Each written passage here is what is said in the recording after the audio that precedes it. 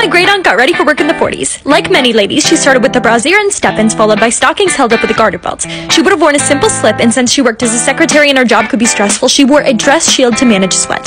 She had just a couple of fancy utility suits that she would wear over these many, many delicate blouses. She would then add her jacket, a favorite pin, and a sensible pair of heels. What do you wear to work?